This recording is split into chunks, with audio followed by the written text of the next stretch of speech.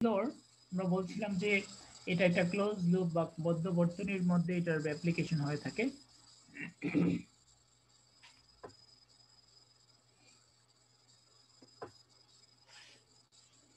এখন এই ইকুয়েশন এটার মধ্যে দুইটা শর্ত, একটা হচ্ছে আইআর ড্রপ এবং ইএমএফ এর বীজগণে সামেশনটা জিরো হবে। এখন কীভাবে এই ইকুয়েশনটা লিখতে হবে এই সার্কিট থেকে? সেটার কিছু ফর্মুলা আছে। সেটা একটু যদি তোমরা দেখো, অর্থাৎ এখানে ফর্মুলাগুলি বল, যেমন এখানটা বদ্ধ বা ক্লোজ লুপ কীভাবে আমরা দেখলাম? যেমন A B C D A অর্থাৎ বদ্ধবর্তনী বলতে বোঝায় যে এখান থেকে তোমার স্টার্ট করবা, এখানে এসে আবার শেষ করতে হবে। অর্থাৎ এটাকে ক্লোজ লুপ হইতে হবে। ইলেকট্রন প্রবাহের জন্য এই সার্কিটের সার্কিটটা ক্লোজ লুপ বা বদ্ধবর্তনী হওয়াটা জরুরি। তো এখন আমরা যদি এ থেকে শুরু করে বি বি থেকে সি সি থেকে ডি এবং ডি থেকে আবার এতে আসতে চাই এবং এটার সবগুলি প্যারামিটার দিয়ে একটা ইকুয়েশন লিখতে যাই, তাহলে ইকুয়েশন লেখার সুনির্দিষ্ট কিছু নিয়ম আছে। সেই নিয়মগুলি আমাদের অনুসরণ করতে হবে। এই নিয়মগুলি বাম পাশে লেখা আছে। এই নিয়মগুলি অনুসরণ করে এখন আমরা দেখব যে এই ইকুয়েশনটা লেখা ঠিক আছে কিনা। যেমন আমরা এই কোয়েশনটা কীভাবে লিখলাম? আমরা বলছি সামেশন অফ আইআর এবং সামেশন অফ ইএমএফটা হবে জিরো সে ফর এক্সাম্পল আমরা যদি এ বিন্দু থেকে শুরু করি এ থেকে শুরু করে ডান দিকে এ থেকে বি বা বি থেকে সি এই ডাইরেকশনে যদি শুরু করি, তাহলে ভিতরে দেখো একটা লো অফ ডাইরেকশন দেওয়া দেওয়া আছে যে কোথান থেকে তুমি শুরু করবা। এক্সে ফর এক্সাম্পল আমরা যদি এ থেকে শুরু করি, তাহলে প্রথমে আমাদের আর একটা আসে আই আর ওই যে আমরা বলছি সামেশন অফ আই আর তাহলে I one into R one I one into R one আমরা লিখলাম। কিন্তু এর আগে সাইনটা কি হবে? প্লাস হবে নাকি মাইনাস হবে? সেটার জন্য আমার বাম পাশে নিয়মগুলি দেখতে হবে। যেমন আই যেমন আই ওয়ান আর ওয়ান হচ্ছে নেগেটিভ অর্থাৎ ফল ইন পটেনশিয়াল কেন? দেখো, এই যে লুপের যে ডাইরেকশনটা আছে লুপের ডাইরেকশন এবং এই কারেন্টের ডাইরেকশন দুইটা একই দিকে। লুপ এবং কারেন্টের ডাইরেকশন যদি একই দিকে থাকে, তাহলে I one R one drop হবে নেগেটিভ এই জন্য এটার সামনে নেগেটিভ লেখা হয়েছে। ঠিক এই এ এবং বি এর মধ্যে আর কিছু নাই, সুতরাং আমরা চলে গেলাম বিতে এবার বি থেকে সি এর দিকে। বি থেকে যাত্রা করে শুরু করার সাথে সাথে আমরা পাইলাম আর ওয়ান এই আর ওয়ানের যে কারেন্ট আই টু এই আই টু কারেন্ট এবং এই লুপের যে কারেন্টের লুপের যে ডাইরেকশন বা দিক, সে দুইটা একই দিকে হওয়ার কারণে এই আই টু এবং আর টু এটাও হবে নেগেটিভ এই দেখো, এটাও নেগেটিভ লেখা হয়েছে। ঠিক আছে? আচ্ছা। এরপরে দেখো এরপরে দেখো আছে ই ওয়ান ই টু আচ্ছা ই টুটা কি হবে? ই টুটা দেখো লেখা হয়েছে এখানে নেগেটিভ কেন নেগেটিভ নেগেটিভ লেখা হলো আমরা এই যে দেখো E two E two is negative fall in potential আমরা যখন আমরা যখন প্লাস থেকে মাইনাসের দিকে যাব ব্যাটারির ক্ষেত্রে, তখন সেটা যেদিক দিয়ে বের হব আউটগোয়িং যে সাইনটা হবে, সেটাই হবে এটার নোটেশন এই জন্য ইটু দেখো আমাদের ডাইরেকশন বা লুপ ডাইরেকশন হচ্ছে বি থেকে সি এর দিকে এবং ব্যাটারির সি এর দিকে হচ্ছে নেগেটিভ সেই জন্য আমরা ইটুর সামনে আমরা লিখব negative right and then C থেকে সি থেকে ডি এর দিকে প্রথমে আমরা পাইলাম আর থ্রি আচ্ছা আর থ্রি যে কারেন্টের ডাইরেকশন সেটা দেখো লুপের ডাইরেকশন দিকে অপোজিট বা বিপরীত অপোজিট বা বিপরীত হওয়ার কারণে এই আই আই থ্রি এবং আর থ্রির সামনে হবে পজিটিভ এখানে আর কিছু নাই। তারপরে ডি থেকে এর দিকে আসলে আমরা প্রথমেই পাবো ই ওয়ান ই ওয়ানের ক্ষেত্রে দেখো, আমাদের লুপের ডাইরেকশন আউটগোয়িং সাইন হচ্ছে পজিটিভ অর্থাৎ লম্বা টানটা ব্যাটারি ব্যাটারি লম্বা টানটা হয় পজিটিভ ছোট টানটা হয় নেগেটিভ তো লম্বা টানটা যেহেতু পজিটিভ আমরা আউটগোয়িং সাইন যেহেতু লম্বা টান বা পজিটিভ সেহেতু ই ওয়ানের সামনে হবে পজিটিভ এন্ড দেন আমরা পাইলাম আর ফোর আর ফোর এর যে আর ফোর এর যে কারেন্ট আই ফোর এবং যে লুপের কারেন্টের ডাইরেকশন দুইটা একই দিকে হওয়ার কারণে এই এইটাও হবে নেগেটিভ অর্থাৎ নেগেটিভ আই ফোর এবং আর ফোর এই দেখো এখানে নেগেটিভ আই ফোর এবং আর ফোর আছে। এবং সমীকরণ অনুযায়ী আমরা ইকুয়াল টু জিরো দিব। এই যে সবগুলি সমীকরণটা লেখা হলো এতক্ষণ আমি বললাম তোমরা কি এটা বুঝতে পারছ? স্যার ই টুটা যে নেগেটিভ স্যার এই জিনিসটা আবার একটু বলতে ভালো হয়।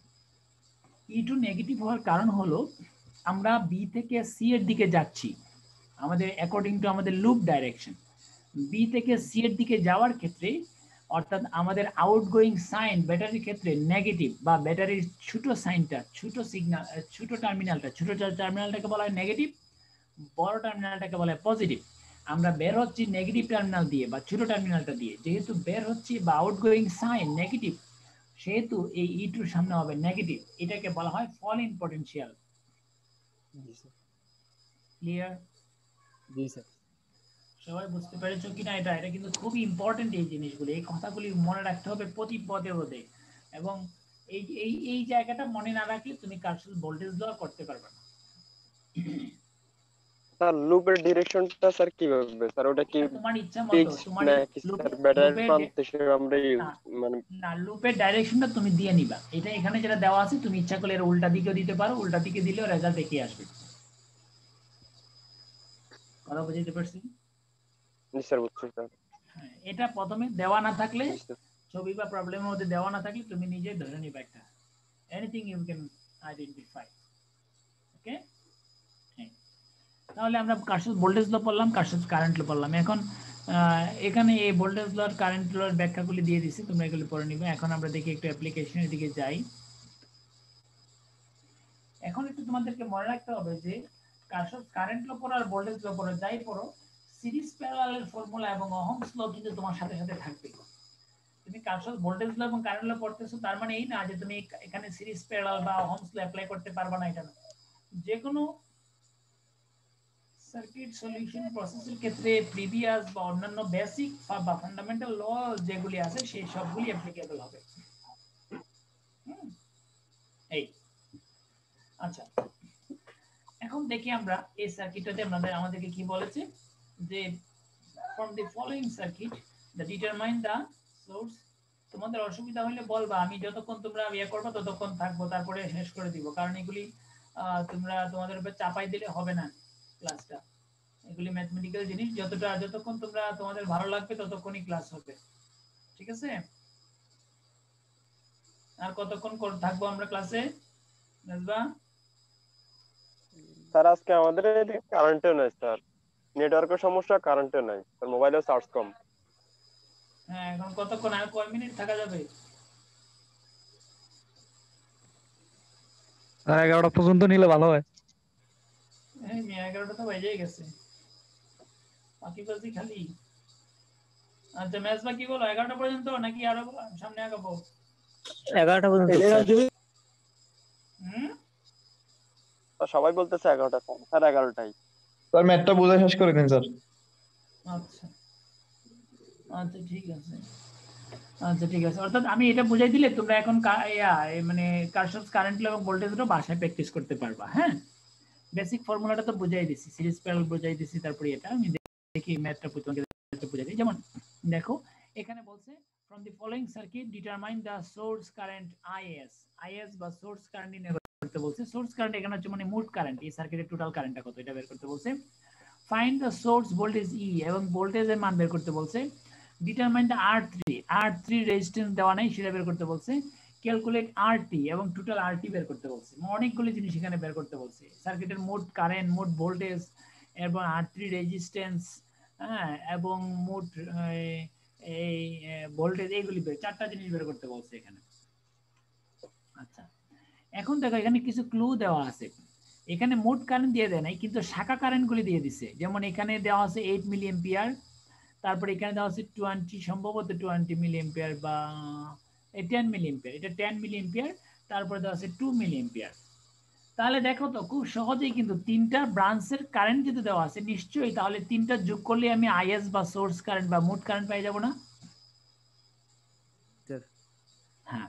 এই যে আইএস বা source current I one plus I two plus I three according to according to series law series current law I one plus I two plus I three এই তিনটা যোগ করে দিয়ে পেয়ে গেছে। এক নম্বর আনসার হয়ে গেল। এই যে সোর্স কারেন্ট বের করে ফেললাম। আচ্ছা এরপরে বলছে applying the ohms law the gives এখন আমি যদি মোট কারেন্ট পেয়ে থাকি আচ্ছা এখন দেখো তো আচ্ছা এই এই, এটাকে যদি আমরা আর ওয়ান ধরি এখানে কারেন্টও দেওয়া আছে, এখানে ইয়েও দেওয়া আছে, কি বলে? রেজিস্ট্যান্সও দেওয়া আছে। তাহলে এখানকার ভোল্টেজ আমরা পাবো না? এই যে বলে দিছে, দেখো।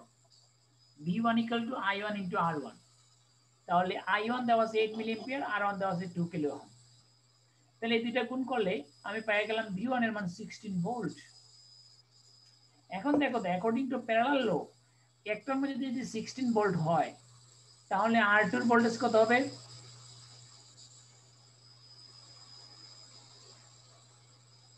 এই ঘুমাচ্ছে সেমই তো হবে। সেম হবে। কত হবে? Sixteen volt 16 volt R three volt sixteen volt 16 volt মোট ভোল্টেজ ই সিক্সটিন ভোল্ট এ very good very nice excellent মোট ভোল্টেজ যেহেতু কেন হবে বলো তো সমান কেন হবে? বিকজ এটা একটা প্যারালাল সার্কিট কারণ আমরা জানি প্যারালাল সার্কিটের ভোল্টেজগুলি সমান হয়। সেই সূত্রে প্যারালাল সার্কিটের ভোল্টেজ সোর্সের সূত্রে এই সবগুলি সবগুলি ভোল্টেজের কারেন্ট এই সবগুলি ব্রাঞ্চের ভোল্টেজ সমান হবে। তাহলে আমরা ভোল্টেজও পেয়ে গেলাম। হ্যাঁ? এখন যদি ভোল্টেজ পেয়ে যায় এখানে আর থ্রির মান বের করতে বলছে না। আর থ্রির ভোল্টেজ যদি ষোলো হয় এবং কারেন্ট দেওয়া আছে তাহলে এটা রেজিস্ট্যান্স পেয়ে যাব না। অহমস ল অনুযায়ী। জি স্যার এই যে এখানে R three V three by I three voltage পেয়ে গেছে এইট তারপর আরেকটা কি বের করতে বলছিল? আর টি টোটাল রেজিস্ট্যান্স এখন সবগুলি শুধু এটা রেজিস্ট্যান্স বাকি ছিল আর সবগুলি রেজিস্ট্যান্স দেওয়া আছে। ওই যে আর টু রেজিস্ট্যান্স দেওয়া নেই। আর টু রেজিস্ট্যান্স বের করে সবগুলি রেজিস্ট্যান্স এখানে কি হবে? এই সবগুলি হচ্ছে প্যারালাল সবগুলি প্যারালাল করে দিলে আরটি পেয়ে যাবে। গেলাম। পারা যাবে? পারা যাবে ভেরি গুড এটা কারেন্ট লর একটা অ্যাপ্লিকেশন আশা করি তোমরা এই জিনিসগুলি পারবা। হ্যাঁ? এই জিনিসগুলি তোমরা আলোচনা করবে মানে বাসায় বসে প্র্যাকটিস করবা। আর ইউটিউব লিংকে এই জিনিসগুলি খুব ভালো ভালো ভিডিও দেওয়া আছে। খুব সুন্দর সুন্দর ভিডিও জাস্ট কাশব কারেন্ট লো কাশব ভোল্টেজ লো লিখে সার্চ দিবা। অনেক ভুড়ি ভুড়ি হিন্দি, বাংলা, ইংলিশ, যত ভাষায় পা চাও, তত ভাষায় এই লেকচারগুলি চলে আসবে। অ্যাটলিস্ট ক্যালকাটা বাংলা লেকচারও আছে আমাদের আমাদের বইতে কিছু লেকচারস আছে এবং ইংলিশের অনেকগুলো লেকচার আছে সেগুলো যদি তোমরা দেখো খুব ক্লিয়ারলি আন্ডারস্ট্যান্ড হয়ে যাবে। হুম? ঠিক আছে? তাহলে কি আজকে এই পর্যন্ত থাকবে? জি স্যার। আচ্ছা তাহলে আজকে এই পর্যন্ত থাকো। আর ইয়ে মেজবা ইয়ে নিছো অ্যাটেন্ডেন্স নিছো 43 আছে এখন। অ্যাটেন্ডেন্সটা দিয়ে দিও। আর নেক্সট ক্লাস জন্য আমার সাথে শিডিউল করো। আর এগুলি একটু প্র্যাকটিস করে রাখো। প্রবলেম হলে আগামী ক্লাসে তোমরা প্রবলেম নিয়ে আসবে। ঠিক আছে? জি স্যার। ওকে তাহলে ভালো থাকো আজকে এই পর্যন্তই। আসসালামু আলাইকুম। ওয়ালাইকুম আসসালামু আলাইকুম স্যার।